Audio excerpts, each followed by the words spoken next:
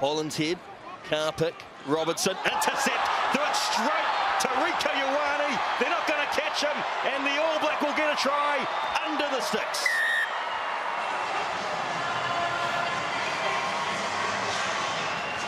Somehow I think Rieko Ioane was part of the back move for Bay of Plenty.